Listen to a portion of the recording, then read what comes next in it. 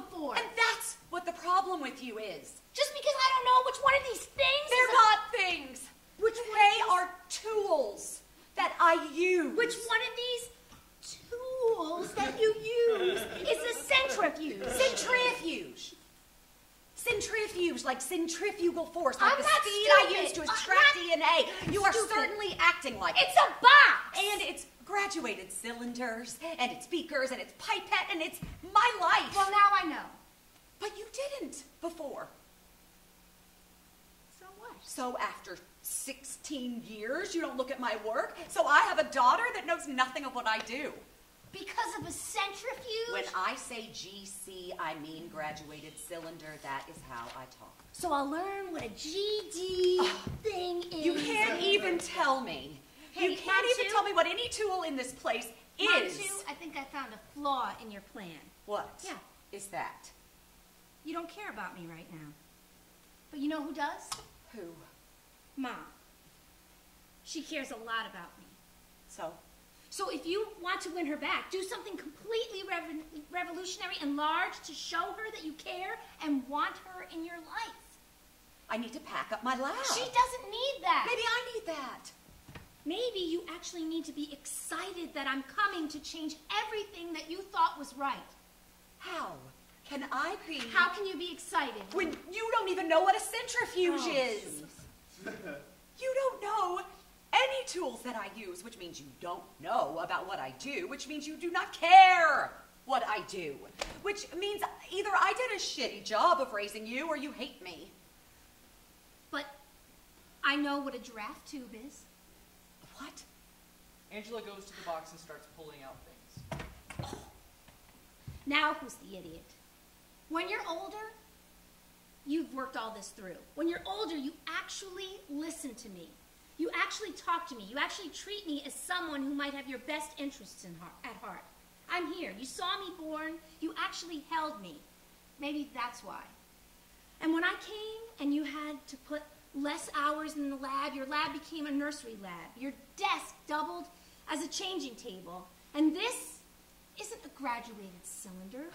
This is a giraffe tube. Because I couldn't say graduated cylinder. This isn't a beaker. This is a hippo tube. These things, Picks up a pipette. flamingos. Picks up a pipette holder. Swamp where the flamingos live. you didn't have to change everything around you. You didn't have to reverse yourself to handle your new backwards life. And I don't know what a centrifuge is, You sound just like me. because I'm your daughter. I'm having a daughter. Because you went upstairs. I went upstairs so I wouldn't lose my wife. You wouldn't have lost her. You you would have lost me. Just hand me the centrifuge. Angela gets the centrifuge and hands it to her. What's it used for? It spins and spins and until it spins so fast that it, it separates the DNA from the rest of whatever's in there. It's pretty cool. Oh, I think it's pretty cool. it's redundant. Redundant? Doesn't an ultrasonic bath do the same thing? What? I just remember recalibrating it with you, and you said that's what it did. We were working on an ultrasonic bath. I don't have a bath yet, Oh, well, that centrifuge thing will be useful then. if it worked. You keep broken. Want to learn how to fix it? What about your big gesture? I'd rather teach you how to do something useful. Hand me the screwdriver. Oh, wait. Uh, what did we call it? Like a um, pointy wizard staff or something? We call it a screwdriver. End of scene. scene five, the lab. Angela is bent over the centrifuge, attacking it with a screwdriver. So, Maddy is staring at Jolene. so the door latch works normally, and the refrigerator compressor turns in response to the temperature set. I think I figured out why I didn't want to have a baby with you. So it's obvious that the power is getting into the motor. Excuse me? But the power light still isn't on. I said, I, I, I, think... I can't hear you. Can you turn it off? Have you checked the motor brushes? Jolene turns the centrifuge off. Should I be sitting down right now? I think I figured out why I didn't want to have a baby with you. And I feel like I should be sitting down right now. I brought you leftovers, and this is when you tell me. Tell you what? That you're leaving me. Mad. Oh my god, you've thought and you realize that I'm not worth it, and I brought you chocolate tacos. Chocolate taco. Because they're your GD favorite. I got your favorite dessert from your favorite Mexican place, and you're leaving me. No, what I'm, I'm saying is that this baby isn't mine. It's happening. No, ev- ev- everything that I do every day is change what I'm given. I have bacteria that hates penicillin, and I get paid so that it eats penicillin. If you give me a gene that says that wants to do something, like it wants to give you brown eyes, my goal is to say, fuck you and what you want. You're getting blue ones. There is something in me that says that, that, that drives me forward. F you. Fuck you. That was the gene born in me to say that, to get the job done. But with this, with our daughter, I, I can't even do that. My role as a parent started when I loaded the ICI and ended when I squirted it in. And then when the tests were negative, when you weren't pregnant, I became a parent again because I loaded the ICI and I emptied it out again. That's when you became a parent. Because it's you and MIT.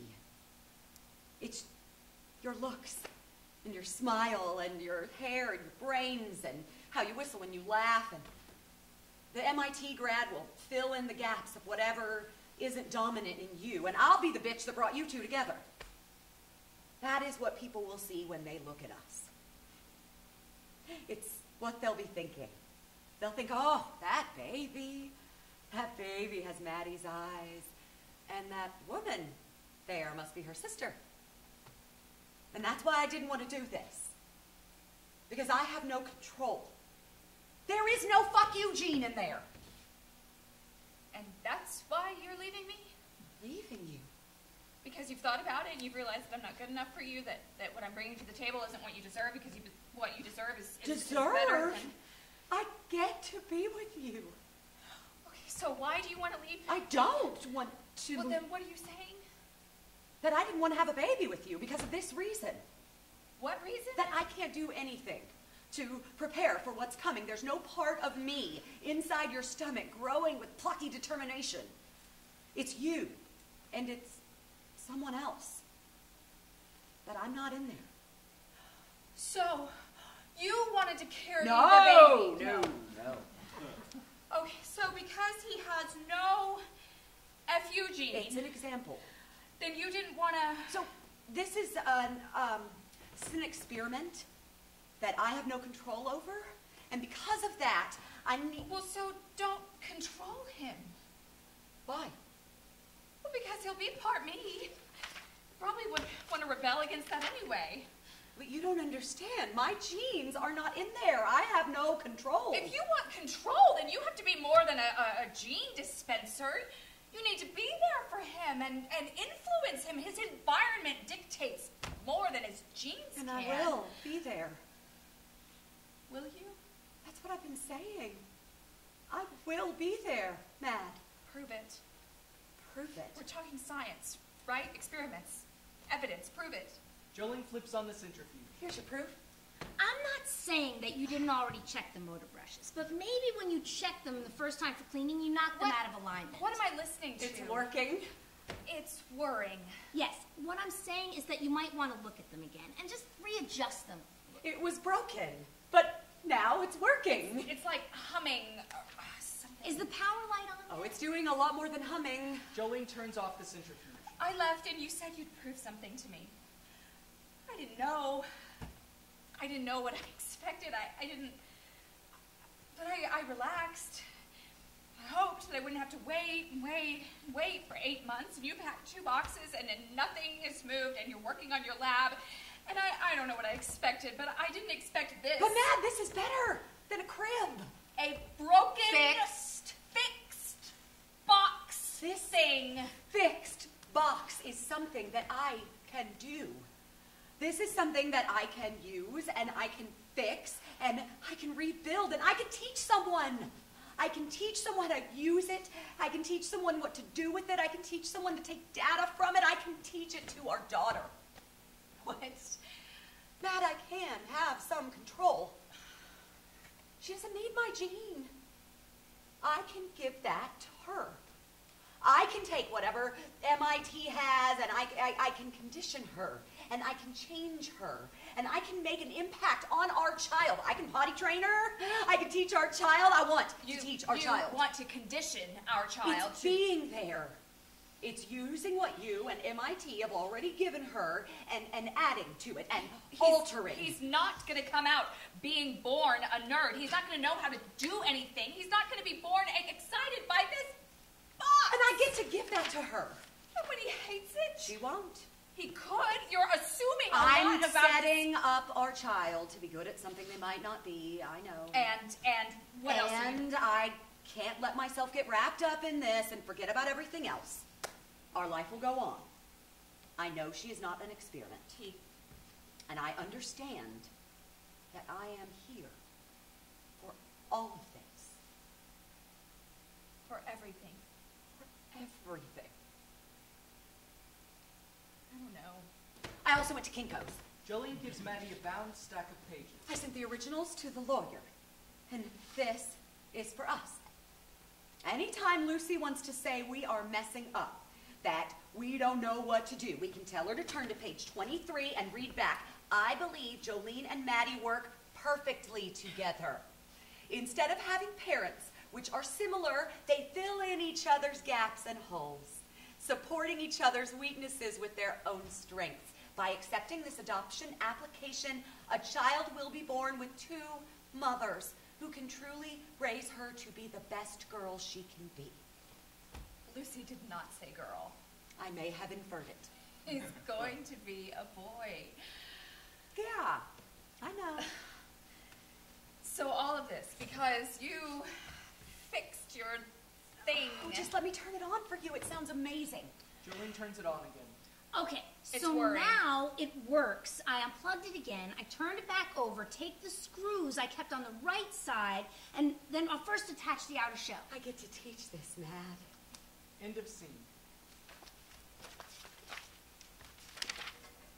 Scene six, seven months later.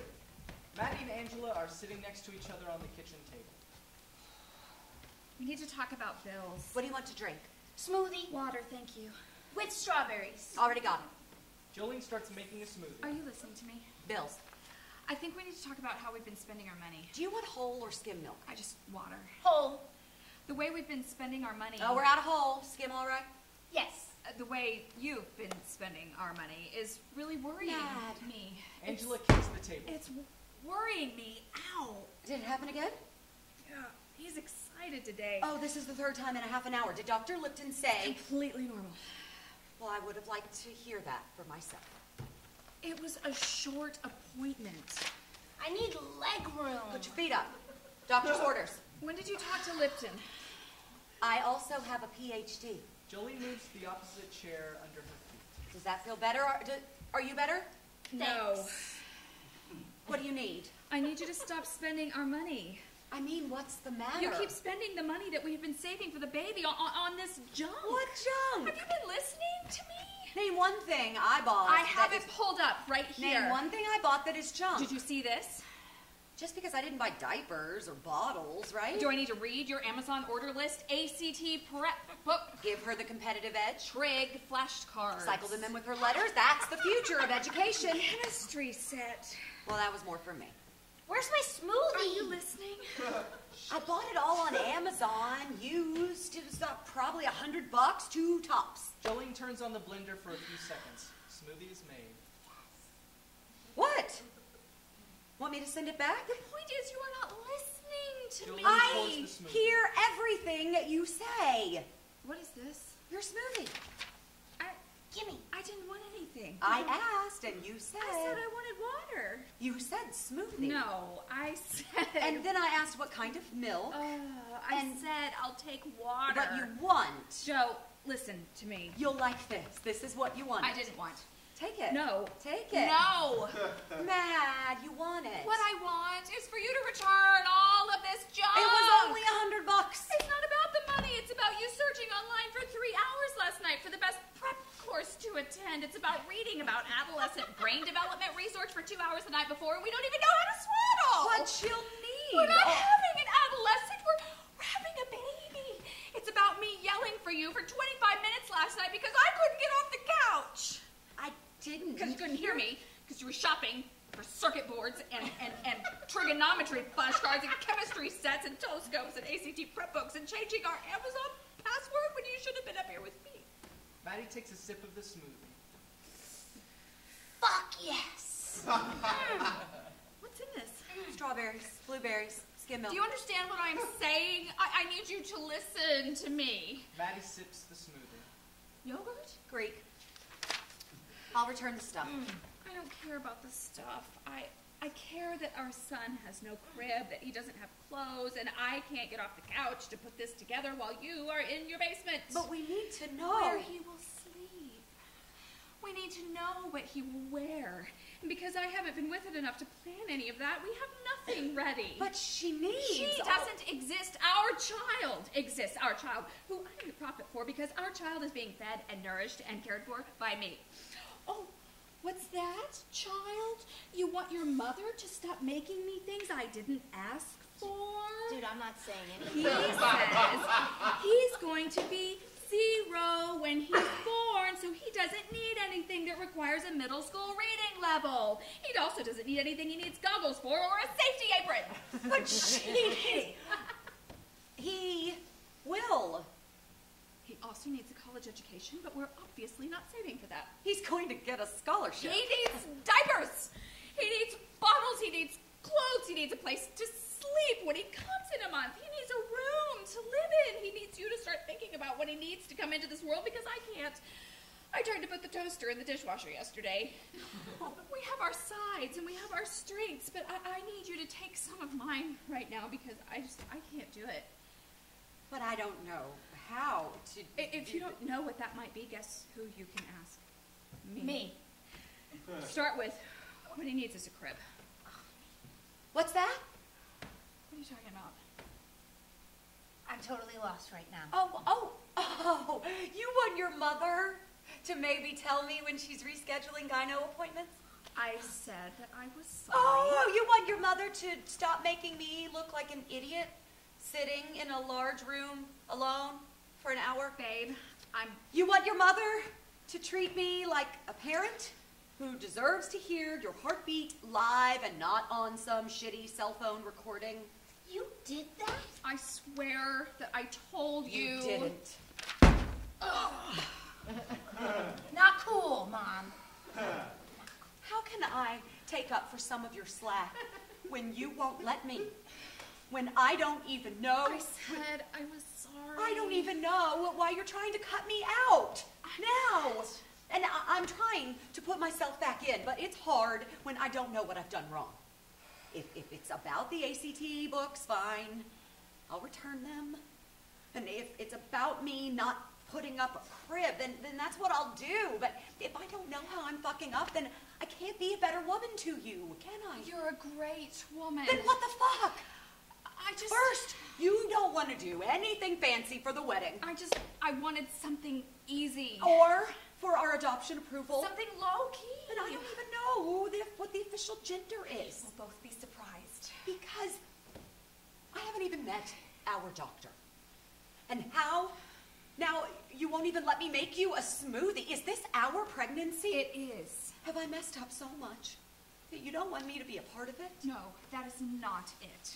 Is there something that I should know? No. Then what is it? Mad, talk to me. I'm just scared. I don't know what's gonna happen. I know that this body is telling me that everything is about to change. Then tell me what you need. I can help. I need you to make me another smoothie. A month away, we haven't even packed our overnight bag. We, we have a lot of work to do. Uh, I said. Fine. Overnight bag.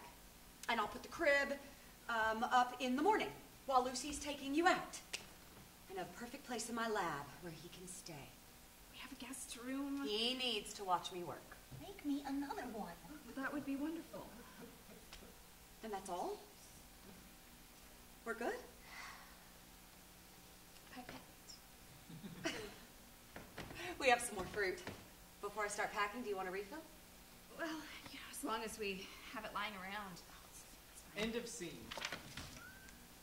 Scene seven, next day. There are three cribs in Jolene's lab. Jolene's phone rings. She silences it. Third time. She wants to know about the crib. Have you picked one yet? You're not helping at all. You're not gonna listen to me anyway. We are not going over it this again. Yesterday, I asked you for a smoothie. And I specifically asked you for a smoothie. That was what I was craving, and you denied me. I didn't deny you. Mom denied me, and you sided with her. It was a decision that we made together. You had already made it. And I shouldn't have, and I'm sorry, but you got your smoothie in the end, didn't you? But I wanted one sooner. Your mother and I hmm. make decisions together. End of story. Now let's refocus and pick a bed for you. You're going to be sleeping in it for. Why does one have baseballs on it? I thought it would look good. You did that because you think I might be a boy. I don't think you you're. think Mom is right. I'm not eliminating anything. Listen to me. Look at me. I'm a girl. That's why I got the other two. One bright pink and one solid white. Not a lot of middle ground here. I am covering all my bases. When Mad gets back from her sisters, she's going to make the final decision. Cowboy up, why don't you? Excuse me. Uh, Jolene's phone rings. It's the boss. You better get it. She probably knows you're not sure which crib to get. Jolene silences her phone. Don't you let me hear you talk about your mother like that ever again. We are both working to see what's best for you here. We're both trying to figure this thing out. I want the pink one. We'll see. I'm a girl. I want the pink crib. I'm leaning more towards the blue one. Of course you are. Let's say you are a boy. Then it's perfect. And when I'm a girl, You'll be combating gender stereotypes. Jolene's phone rings. She silences it. Joe, that crib better be set up. You've been given a whole day to get it together. Oh, just wait until you're older and you're pregnant. How do you know I haven't been pregnant already? Nah, you stop right there. Oh, how do you know you aren't already grandma too? I am not. How do you know that I didn't become a crazy tomboy after I slept in a blue baby's crib and kissed the crazy? Okay, we won't get the blue one. I want the pink one. We'll settle. I want the blue. I'll take it. Uh, the white. Yeah, it's neutral. It's boring. It's clean. I got two words for you: poop and fingerprints. you will be sitting in that chair right over there, and you will turn, and this part will be white, and this part will still be white, and this part will still be white, and the bars will be white at the top, but I will wear those down to the brown.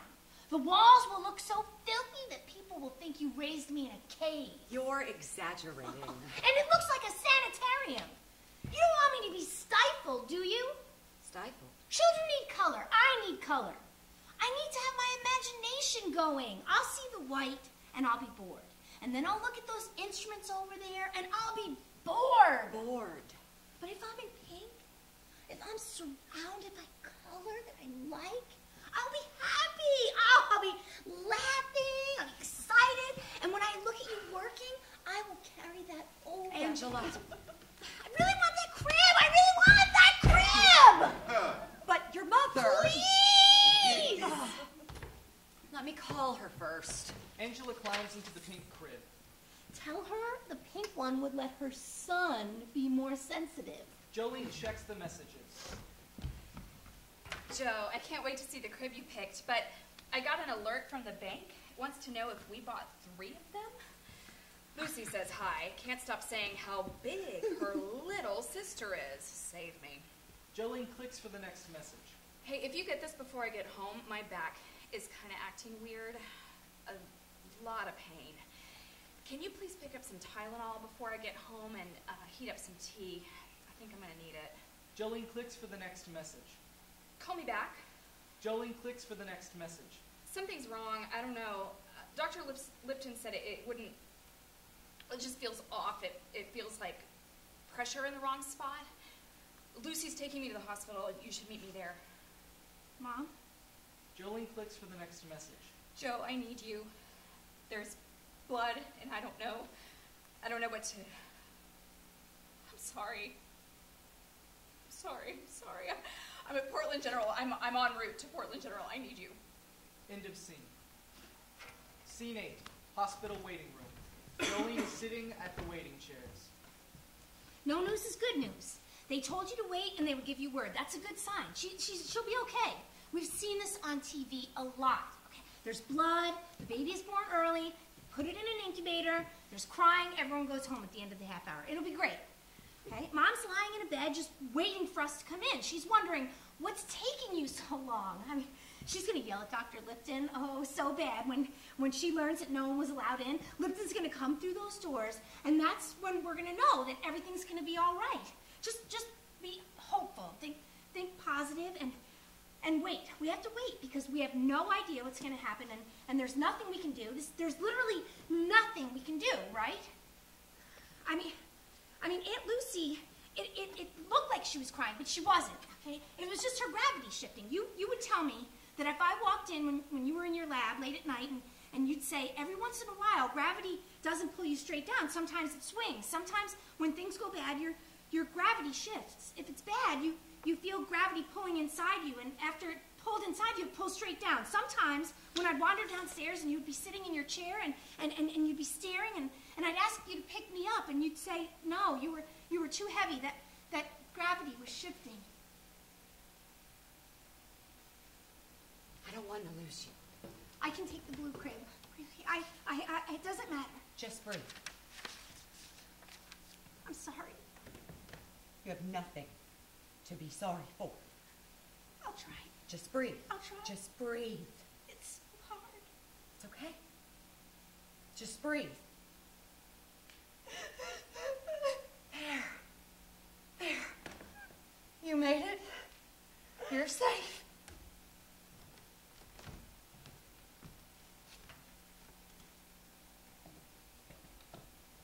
No! Joe, you need to sit down. No! You need to sit down. I'm sorry I didn't pick up the, I'm sorry that you I need to be strong here. You have to do this. No! You need to take this. I don't I don't want your ring. Give it to her. You give it to her. Joe. No! You, you take that ring, you put that back on your finger. You raise her with me.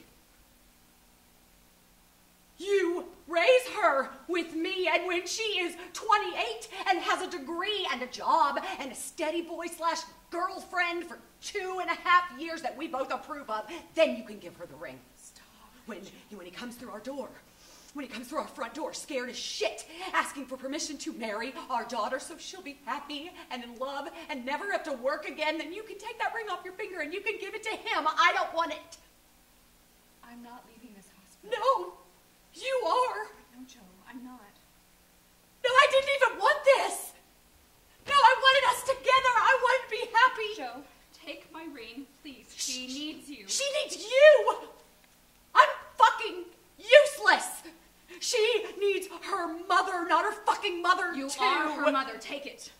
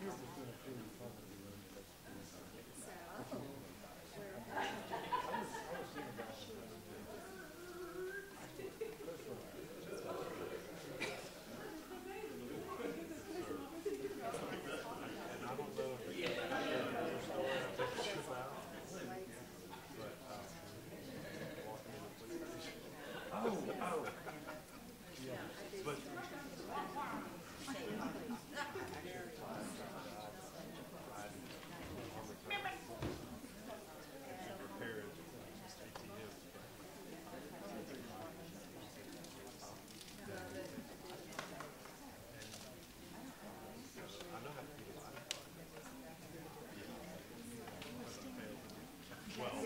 Well,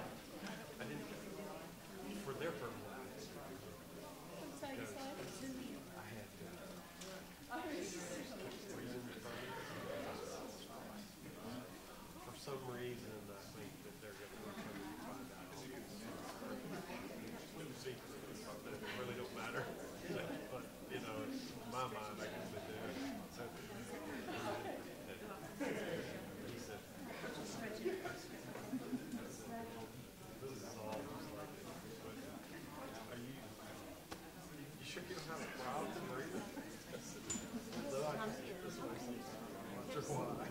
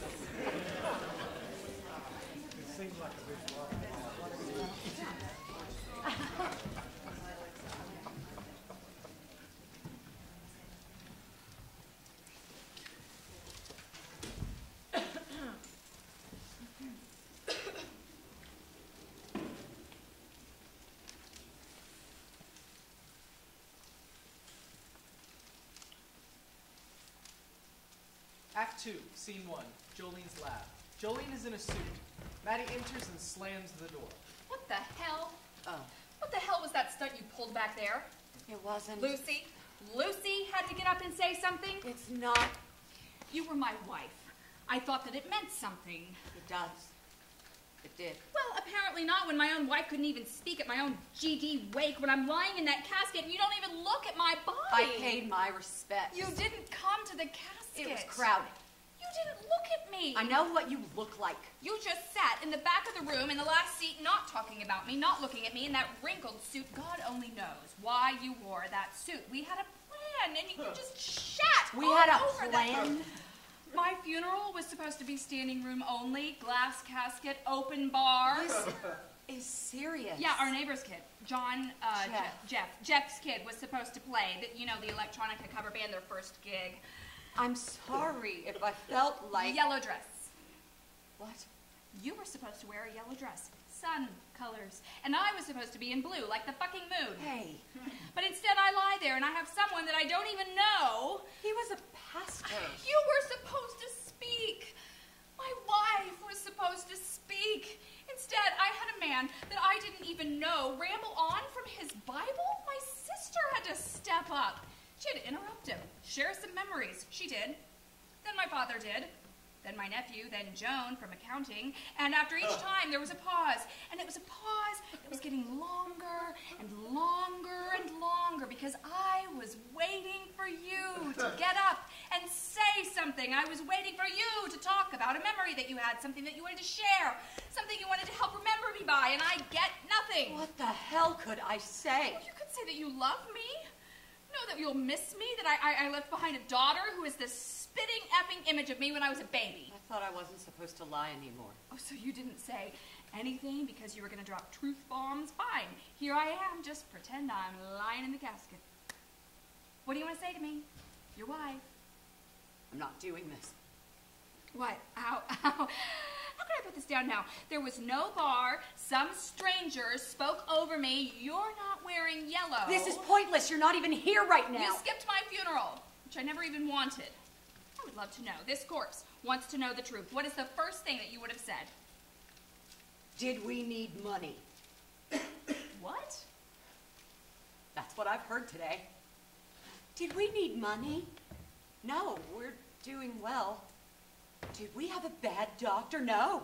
No, Lipton was the best. Did did I just hate my wife? Joe. No. Joe. So why? Why? I, I've heard it today. Why? Didn't I bring my wife to the hospital earlier? Why? Why didn't I put her on bed rest? Why did I still let her go to work for two weeks after she got the diagnosis? Did we need the money? I'm sorry. No. No, it's because I messed up. I wasn't excited about our baby early on, and that doubt sowed a seed in my wife's mind, and she didn't trust me. So I didn't know. No, that's not it. My wife didn't trust me with the information that she might die. Joe, that's not it. So, so because of me being a selfish, fucked up mess, I didn't get to say goodbye. Everything was fine. I didn't get to hold her, to, to be with her, because I, I thought I was doing the right thing by, by picking out a crib. Everything was fine. And the first time I rescheduled, I thought I had actually told you. I, I thought that I told you before. And the doctor said that everything was fine, and you were fine with I wasn't fine. I mean, there are more important appointments than for me to pee in a cup.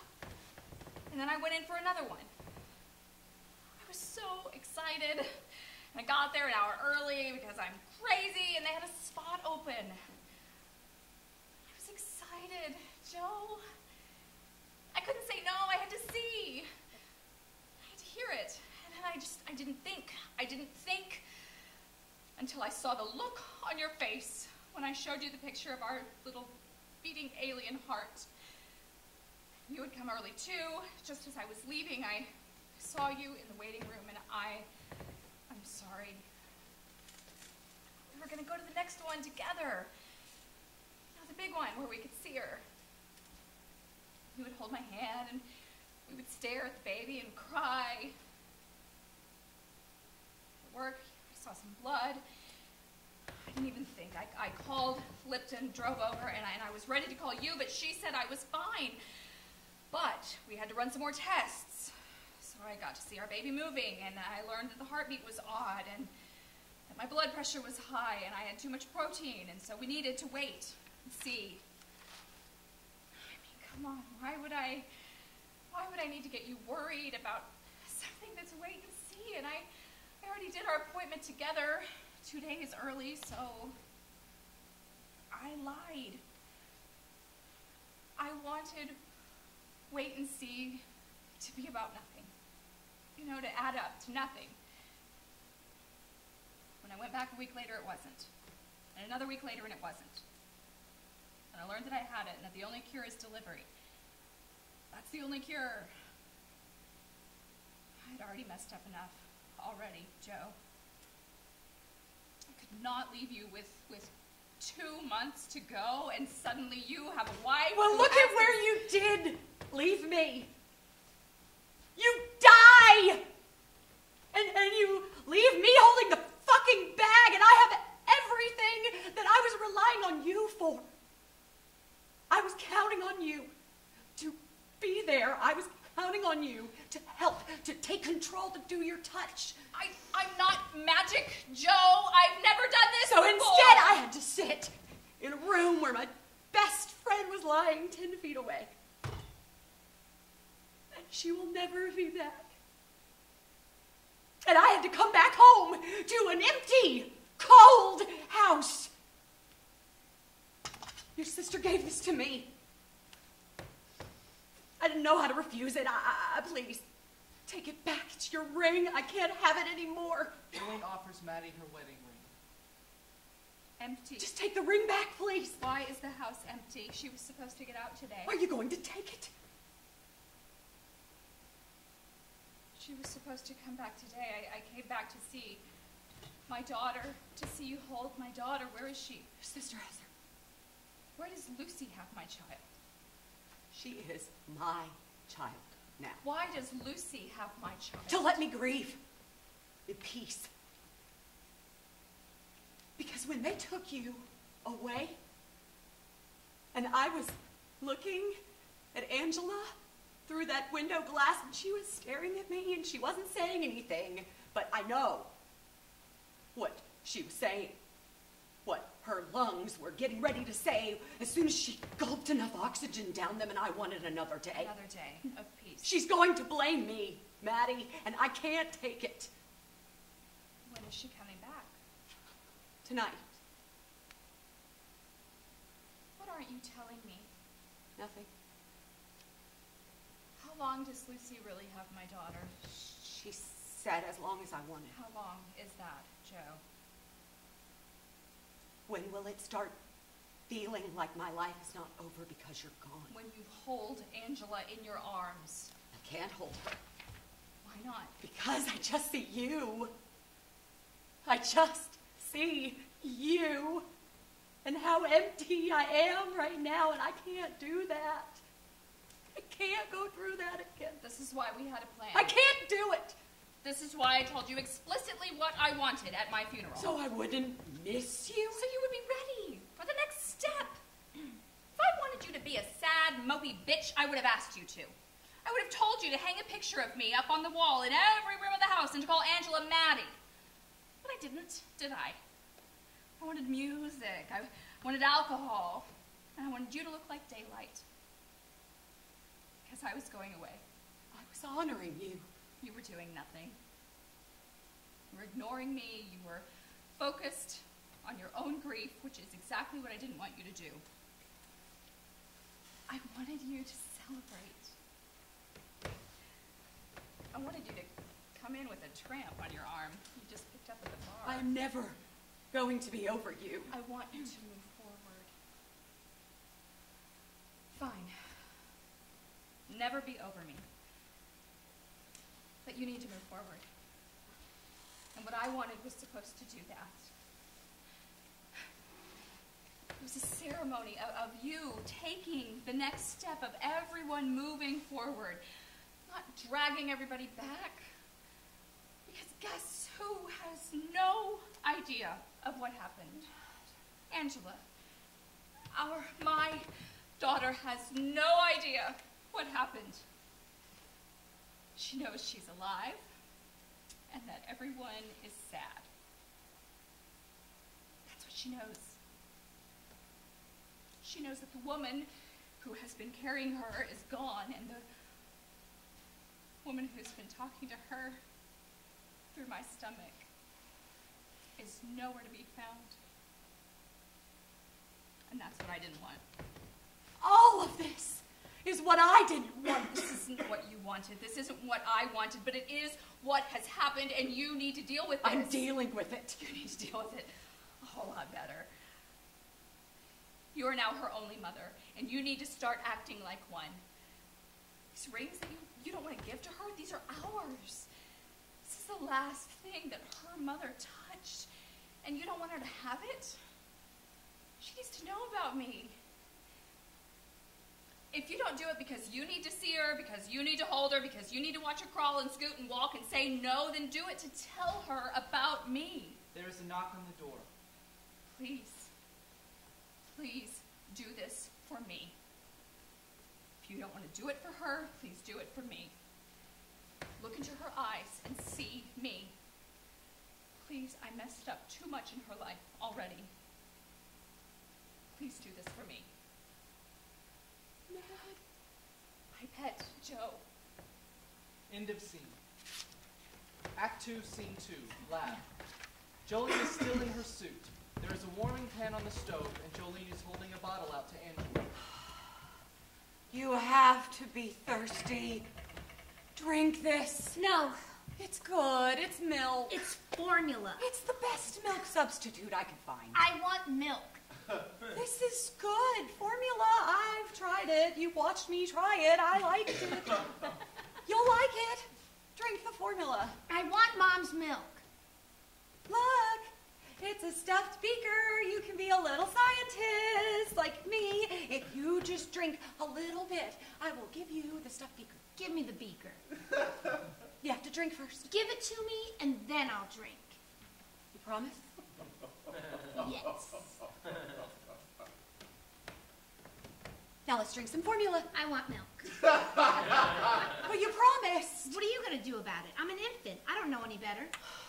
You're hungry. I, I know you're hungry. Just tell me what you want, so so that you'll eat. I want that.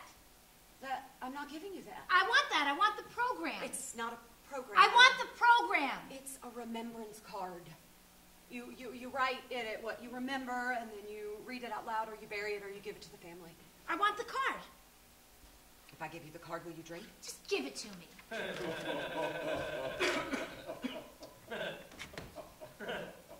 It's empty. Time to drink. Angela throws the stuffed beaker on the floor. You need to eat. I don't want you. I want real mom. I'm mom. I'd eat for real mom.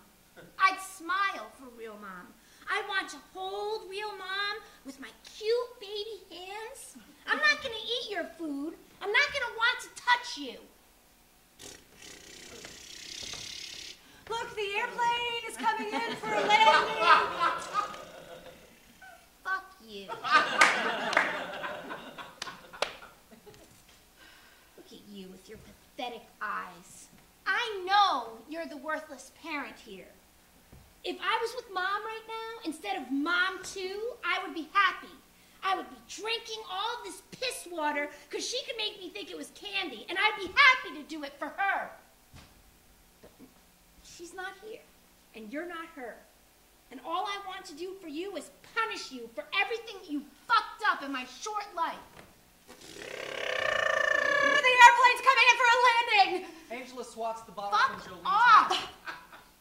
Maybe Jolene just picks up the bottle, wipes it off, and puts it in the warming pan. When I first saw you in the nursery, you were silent and staring at me. I don't know if you know this, but when you fell asleep, I just watched you.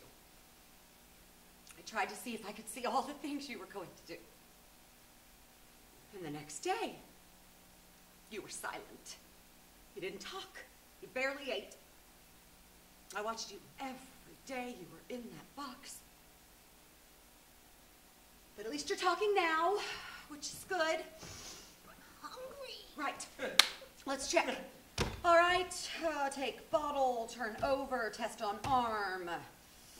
Temperature is acceptable. Jolene offers Angela the bottle, she takes it. Ah, Angela drinks and too spits it back. cold. A few more minutes. Jolene puts the bottle back in the pan and waits. Maddy enters and watches. So I should talk to you about your mother, about Maddy. When you get older, when you uh, get older and attached to someone and love them very much, they, they stop being someone that you're in love with and they, they stop being a part of you. they start being you. And for eight years, your mother has had been me. So when she left, when she passed, I was, I am gone. The inside of me has just vanished, and there's a there's a vacuum in there. It's it's like my gravity is shifting, and I'm I'm just drawn inward. And I spent all night thinking about it. That that is not the kind of parent you deserve. Jolene takes the bottle out of the pan and tests it on her arm. But it is the only one you're stuck with. And I'm probably going to be reminding you of that a lot as you're growing up, so please, can you just try it?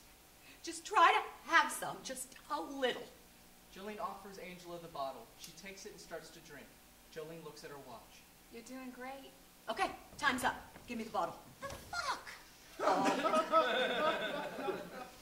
All studies agree that giving a shortened eating schedule allows for a better digestive system when you're older. We will wait three minutes and I will give you the bottle back. But it'll be cold. And if it's not warm enough for you, I'll prepare another bottle. I want more. You don't know what you want. Two more minutes. Give me more. If you get agitated, I will have to reset the time. I want more food. Now it's up to three minutes again. What the fuck? Calm down. You're not going to get any more food. And if you keep yelling at me like that, then your food can't digest and you'll be stuck with an upset, shitty tummy. All I know is I'm hungry and you took my food away. And it's going to help in the long run. Maybe you should. Listen, either I'm the mom or I'm not the mom. Either I decide what's best for my daughter or I have no idea what the hell I'm doing. You have two minutes left. If you don't feed me right now, I'm going to remember this. I'm going to remember this, and when I can eat on my own, I'm going to eat and eat and eat because I'm afraid you're just going to take it away from me. It's been two minutes. Oh, I'd like to see you do better. No, wait. F you. Do it alone. Matt? No, wait. Aunt Lucy called me last night. No, she didn't. She talked to me, she did. And she said that she'd talk to you about it when she dropped me off. She said she would love to have me living there. No, she didn't. She gave me a bottle of formula and let me drink as much as I wanted. And then she held me and she sang to me. And it felt like I imagined Mom would feel. I would close my eyes and it's like she's still here. And I just held on to her and she held on to me. And before I drifted off, she said that she wants to keep me forever. And when I woke up, she gave me more formula, as much as I could drink. I'm feeding you. I can hold you and love you. Oh, you just need a minute to get excited about it, right? You, you dropped your hippo tube on the ground. And I wouldn't be forced to hold this bullshit stuffed animal either. Please, give me a break. You're trying. I'm learning. And failing. Yesterday you gave me away because you hate me. I don't. I heard you. Today you spent an hour trying to feed me. But at least I fed you. And that's the least you've done. You're not ready to be a mom because you can't be ready. You're trying and you're failing. I try to be the best. Real mom's right. What? What do you mean? She didn't want to say this in front of you, but there's a lot going on. Maddy? Are you talking about Maddy? Yeah. You're not a real parent. You're half a parent. I don't want to be with someone who can't be a mother who's only half of one. Real mom and I agree. I should go live with Aunt Lucy. No. Ask real mom. Oh, wait. No, you drove her out. I didn't mean to. I want you to call Aunt Lucy tonight. I can't stay here any longer. I'm not going to do that. She wants it, I want it. No, Real mom wants it. I'm, I'm not giving you up. You are my daughter. I'm too much for you. Give me to the family. Give me to someone who wants me, who knows how to take care of me, who feels like mom. I, I feel like mom. Then hold me. What? Come on, pick me up. home, hold me and tell me what you feel. No, I can't. I, Come on. My cute little fucking hands are reaching out to you. My eyes are looking into yours. Lift me up. Tell me how it feels. I can't. Way to fucking fail first chance I'm you not get. failing. Jolene holds Angela. What the fuck is this? This isn't bad.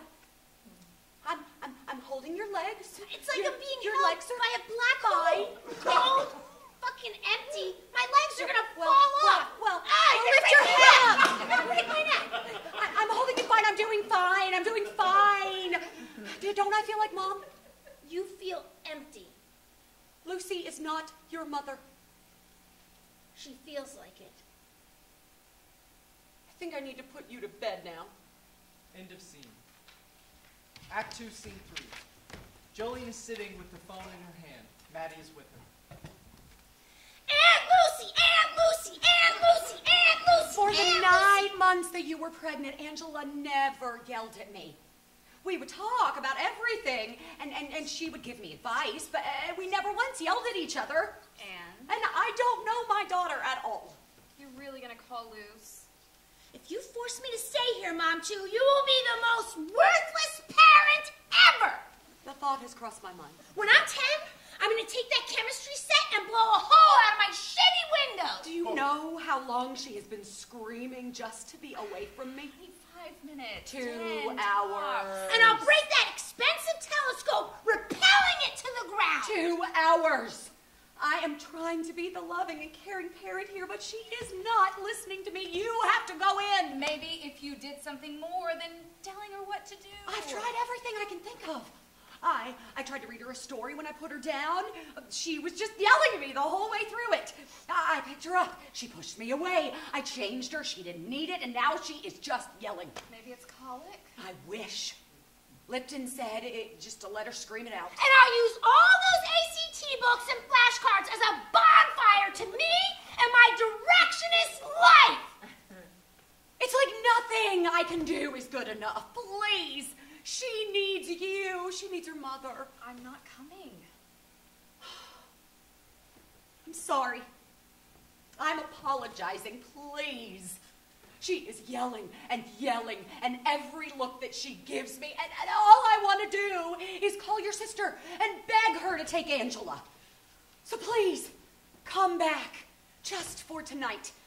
Just for tonight, you can go in the bedroom and you can hold Angela, and then and then you can come in here, and and I'll give you a back massage, and and I'll I'll hold you in a way I haven't figured out yet, so you'll be comfortable all night. I'm never going in there, Joe. Do you hear me? And that'll be the last time I see an equation or read the words cylinder, DNA, or pipe pipette. I have to call. I can't do this. I can't be in a house with someone who doesn't listen to me, who can't talk to me, who can't understand reason. Who, when she is not even yelling, she is blaming me. I told you she would be part me. But we could reason with each other. No, we couldn't. When I was wrong, you reasoned it out. And, and, and when you were wrong, I I. don't care who said what. But you said my reasoning It was was. cute. I, I cared that you cared. I, I could tell there was passion and, and there was love. That's what Ange needs right now. Do you hear me, Mom, too? No, no, not even Mom, too. You are now object. How do you fix oh. that with your parenting research? Take me to Aunt Lucy's object. And That's how oh. wonderful I am, Mad. She is distressed, she is upset, and she calls for you. She calls for Aunt Lucy. She just blames me. Love, sit down. Down. Close your eyes. Can you feel this? I will always be here to hold your hand when you're walking alone, to stroke your cheek when you're sad, and to hold you at night. I am your wife, and I'm sorry that I wasn't on bed rest and I didn't tell you, and I'm sorry that I left you holding all of this by yourself. You know I didn't mean. Don't try to touch me. Just feel it on your cheek. I will never leave you. Ever. You know that, right? Makes me so happy that I can still do these things. I can never go into that room. I will never get to hold my daughter. I will never get to comfort her when she's upset. I would talk to her. I would listen to her. I would hold her so tight that she could not help but feel my love going into her. You get to do all of that. You have to be both of us here. All I can do is, is hold you right here, right now. I miss you so much. I miss you too. What? Nothing, I miss you too. You're holding your breath. So? That means you want. You want to ask something. I don't. Spit it out. Why are you wearing that ridiculous suit? It was my father's. You remember we agreed on yellow dresses? and some young tramp on our arms. I, I thought. Thought you were going to bring Pat. Pat. That girl you have a cru- had a crush on you at work. I am a leg gal. I have those. You look good in yellow. It just wasn't as funny without you there. Babe, I'm always here. If it was me, if if it was me who carried Ange and had her, if it was me I'd have two tramps. One for each of us. Mom, tell Object I can leave. Tell Object she sucks as a parent. Tell Object it would be better for me if she just gave up. Tell her Aunt Lucy is perfect. Jolene puts down the phone and puts on Maddy's wedding ring. Here, don't forget this. She'll love it after a while. Maddy hands Jolene the stuffed beaker. I don't want to talk to you. I thought that's what you've been doing for the last two hours. No, I was ordering. Ange, I I don't care that you miss mom. I don't care that you're trying hard. I don't care that you've never done this before. I don't care because you have nothing to offer me. because I have just been talking about me. I do miss your mother. I will always miss her. I am trying hard, and I haven't done this before. I am your mother, and I am proud to be your mother. Look at me. I didn't come in here to talk about me. I know about me, and you're too young to care right now. I came in to talk about you, So you know how to pitch me to Aunt Lucy? so I know you better. It's you and me, and I want to know you. I miss her. And I know that I never knew her, but part of my body feels like I should. I, I feel like I should have known her. I spent so much time with her that I wanted to know her. I wanted to know what she feels like, and I want to know that what she would say when she lifts me into the air. I want to know what pictures she'd show around the office, and now I can't.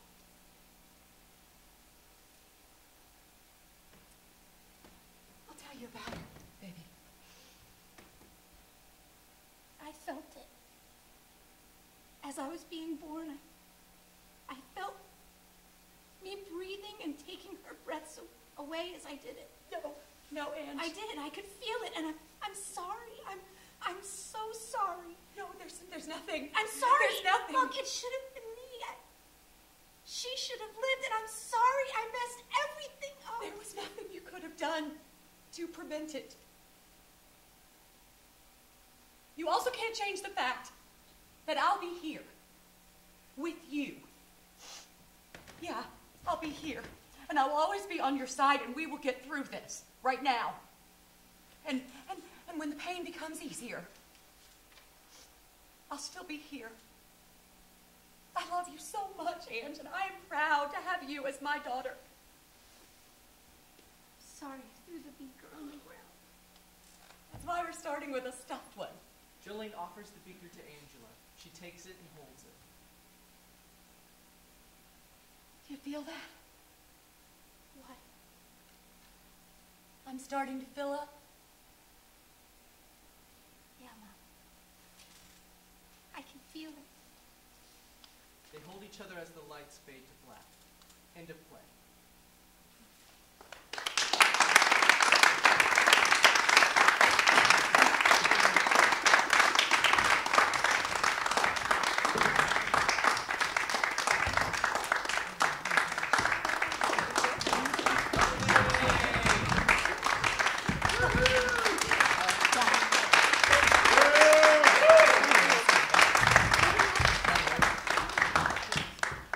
Lovely, lovely. So indulge us for just a few minutes, and um, how about a little conversation?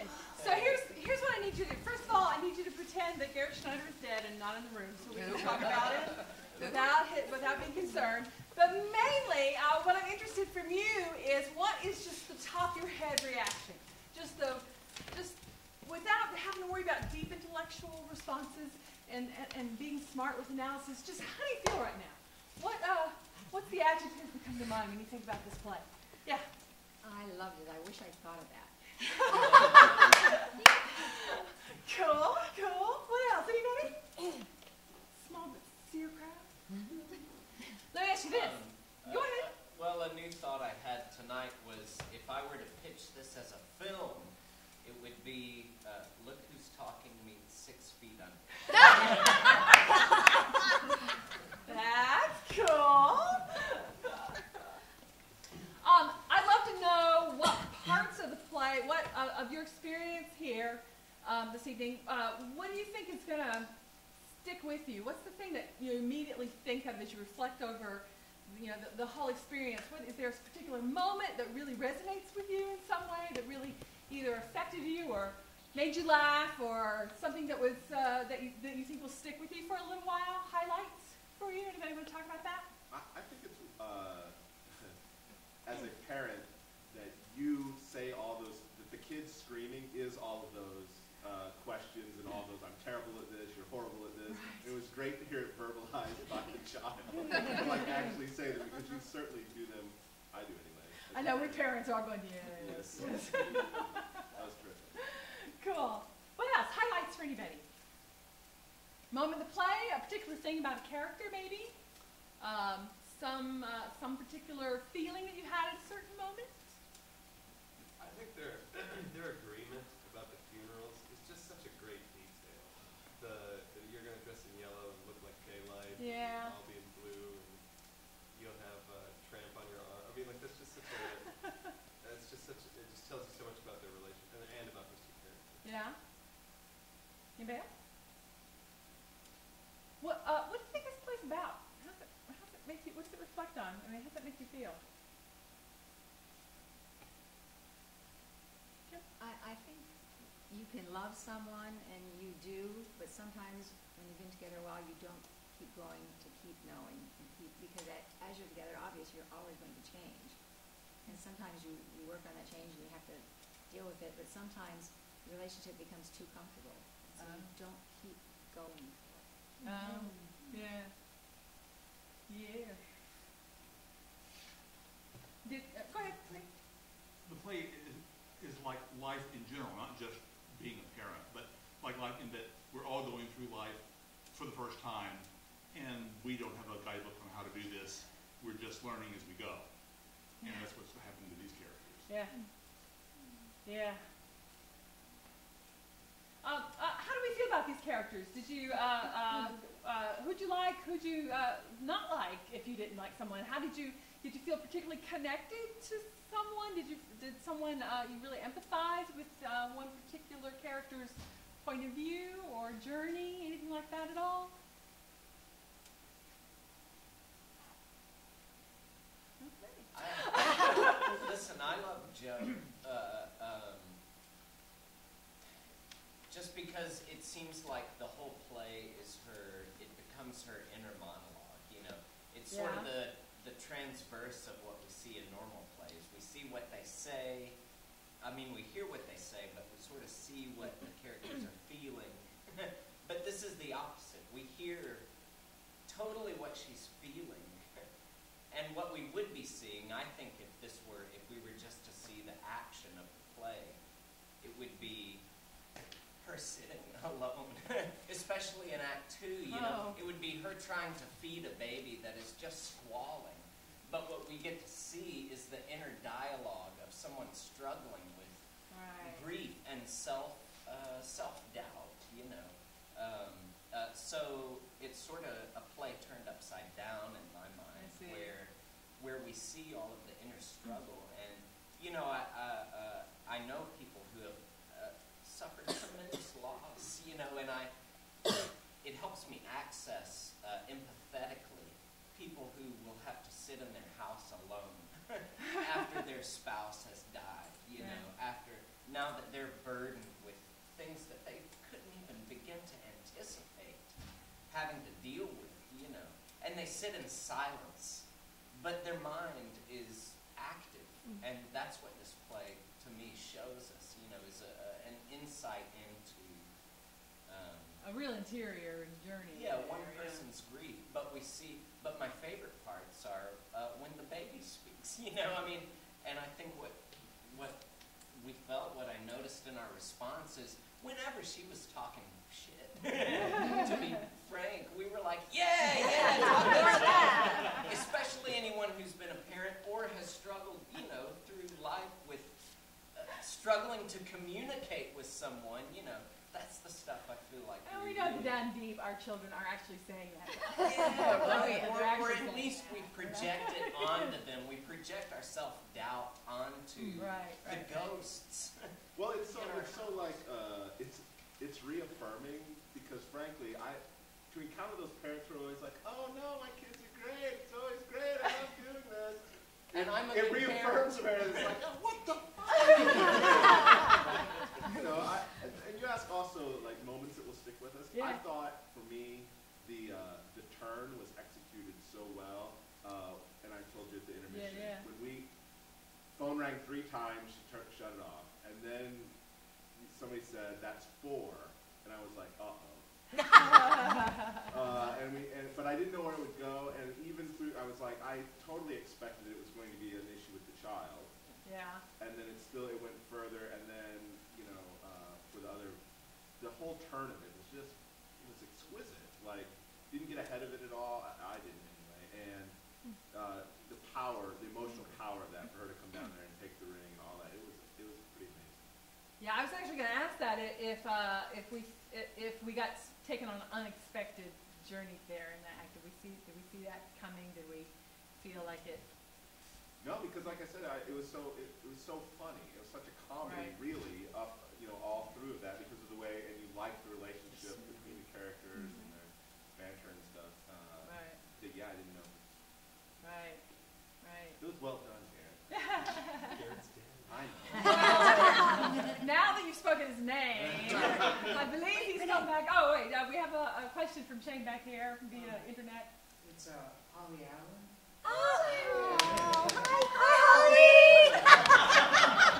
The future helps her make choices in her present. Oh, right, right, right. Yeah. Yeah. Having something like that. Cool. Well, at this point, I'm gonna let Garret come up and join his cast. Grab a chair real quick. So that we can applause him. And uh, if you have any questions you would like to direct to the playwright about the play in any way, either about the play itself or the process of creating the play, or how the whole festival's been for him, or you know, how's his wife.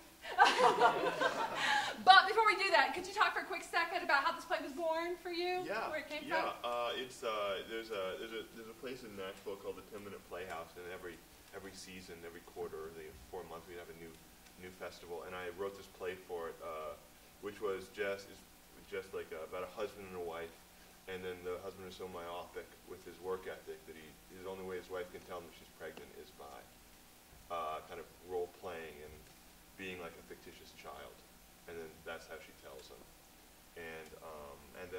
like that.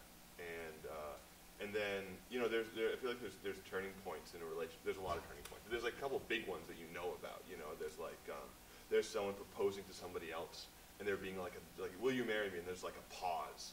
And you're like, uh, I don't know. You know, that's a big turning point in that relationship. And another turning point is when someone says that I'm pregnant, the other person says, oh no, you know, like that. That's a huge turning point. And so I was like, well, in, instead of instead of in the 10 minute play, it was, you know, I'm I have a kid. I'm not ready. Well, now I'm ready. You know, at the end of this 10 minutes. And I was like, well, no. What if it would be much cooler if if they if if, if he was not excited about it? And then there's so many other things you can do with this. And you know, it started with a guy and a girl, and then it changed to uh, to two loving women.